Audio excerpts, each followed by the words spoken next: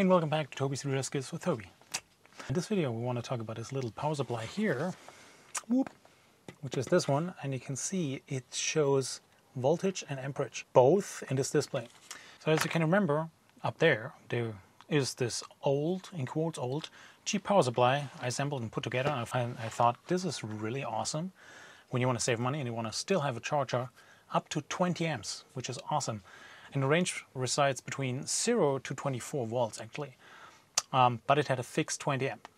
So what I want to focus this time on is this power supply, which is adjustable voltage 0 to 24, as well as adjustable amperage 0 to 20.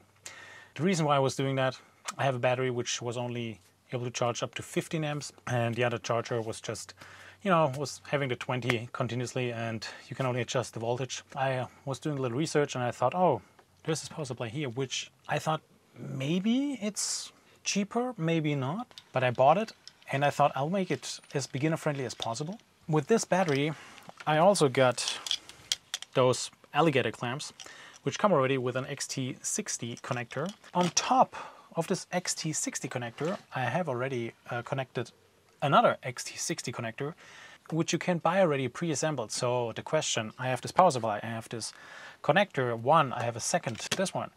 And then I have also the power cord, which is this one, which I also bought. So make it beginner friendly as possible, as easy as possible. But um, is it still cheaper? I mean, that's still a question, right? Because you can get pre-assembled and finished battery chargers, which are specifically to the setting, oh, I have a lithium iron phosphate battery, oh, I have a lead acid battery, AGM battery and stuff like that. So that's really, you have to push the button. You don't need to know anything. With this one, just have to make sure that you don't destroy your battery. But maybe you want to use it as a power supply for something else. What I did, I just show you really briefly, besides buying just those three cables, the power cord, um, this connector, and also the alligator clamp connector. I also had to make sure that I have those connectors here I hope you can see it, to properly connect it, not only power supply, but also XT60 connector. I hope you can see this here a little bit better. So here's the line, neutral, ground, and then we have up to four wires we can connect, two negative, two positive, and I only need, for this case, I only need this connector. And what's nice about it, again, I can just make an adapter if I want to. I can plug in an adapter and connect whatever I want to. I can build something if I want to. It's it's just, you know, it's nice and easy and it's I have this connector, then I have an MC4 connector. It's it's really nice and versatile. So in terms of is it cheaper? So let's do the math and see if it's actually cheaper. I paid $54.56. Um, worth mentioning here, this was a warehouse deal, which means the regular price is $69.99. And I did pay for the for two pair of XT60 um, connectors with with the 12 gauge uh, cable connected already. I paid 12.88, and for the alligator clamps, uh, also 12 gauge, I paid 12.97. And this in combination brings us up to $80.41 for the entire power supply adjustable. If you calculate over the regular price with $69.99, you obviously you can do the math, it's higher. So um, question if it's really cheaper, mm, I don't know. There's there are other power supplies out there. It's the question if they uh, have that high output with 20 amps if you want to. So that's that's really up to you. Maybe you have other uh, ideas what you want to do with this. Maybe that's a constant power supply you need it for. I don't know. There might be different reasons out there. I still think when I compare it with the old power supply, which I had in the first video, um, this one gives me more versatility. Do I wish the price would be cheaper? Definitely, because the first power supply was a lot cheaper, I felt like. Something like that you might get with a Victron um, power supply as well, up to, what is it, I think it was 15 amps or something, also great. You can adjust, you have Bluetooth and stuff like that. Um, does it compete with that? Absolutely not. I think that's something two separate shoes. I feel like, but it's it's for sure it's something to consider. And uh, this one with eighty dollars plus tax, by the way. Sorry, U.S. prices. It's it's really the question if you like that more. I want to do a quick test with it. Whatever it displays, if it also puts it out. and therefore, I got one of those little batteries here. Um, thanks to Redodio. I learned it's not Redodo, it's Redodio.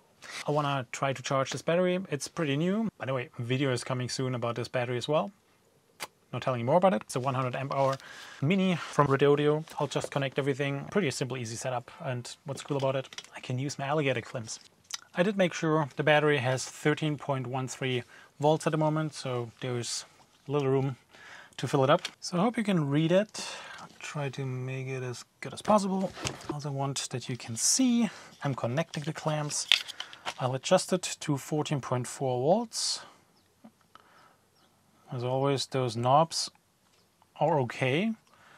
They don't have a click or anything. They're very fluid, so it means when you twist it too much, totally off. But I want to go give it full power, 20 amps. The battery can handle up to 20 amps. So we'll see what's happening, right? Just connecting everything here. All the way up. Whatever you have, give me. That's the max I can go. It says 14.4 volts charging plus minus 0.2. So we can see the amperage says 21.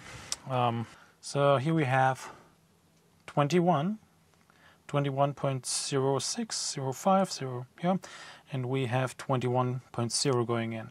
I think that's pretty close. Well, I could sit here the whole day and wait for it until it's done, but I think it might take a little bit, especially... Oh!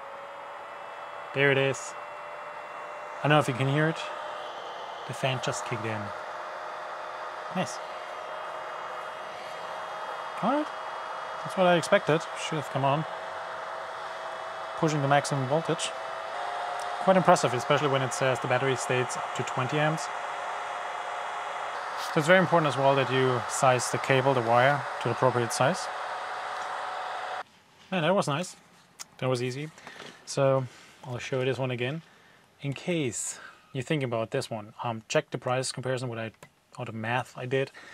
Um, is it cheaper for compared to anything on the market? I'm pretty sure no. Um, does it give you more versatility? Yes, but make sure you don't destroy your specific battery. I like it. It has a lot of power in my opinion. It's a good alternative. I'm not saying there's nothing better out there, but this is definitely an improvement to the old um, version 1 I would call it. This is version 2 probably. So I hope this helps you in making your fundamental decision in case you're also looking for power supply or charger or something a little cheaper you want to buy in or whatever um, or just play around DIY stuff. I hope you liked this video as well. As always I like to ask you if you want to like the video, maybe subscribe to the channel, helps me a lot.